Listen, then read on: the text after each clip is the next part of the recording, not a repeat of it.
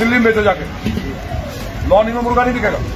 दिल्ली में बेचो बीजेपी विधायक नंदकिशोर गुर्जर का एक वीडियो सोशल मीडिया पर वायरल हो रहा है जिसमें वह मुर्गे की दुकानों को बंद करवाते हुए दिख रहे हैं। भैया तुम्हें बदबू नहीं आती है आप लोगों को?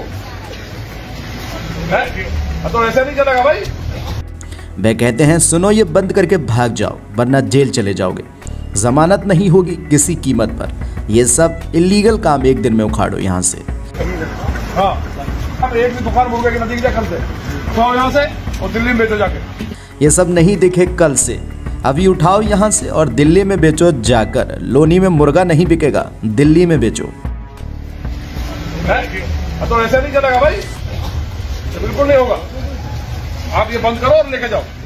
इस वीडियो को देखकर ऐसा लगता है कि नंद किशोर गुर्जर के आगे सारे कायदे और कानून कोई मायने नहीं रखते हैं। सुनो ये बंद करके भाग जाओ नहीं जेल चले जाओगे। जमानत नहीं होगी किसी कीमत पर हाँ। एक भी दुकान मुर्गे की नदी की से तो यहाँ से और दिल्ली में बेचो जाके। लॉन में मुर्गा नहीं बिकेगा। दिल्ली में लोग निकलते भी नहीं होंगे यहाँ से।